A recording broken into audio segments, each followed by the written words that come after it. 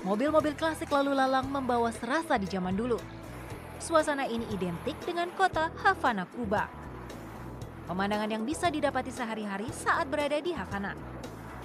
Sejak tahun 1959, revolusi dan embargo dari Amerika Serikat berpengaruh pada impor negara Kuba, termasuk kendaraan bermotor. Tapi karena harga mobil baru sangat mahal, mobil klasik buatan tahun 1950-an jadi favoritnya.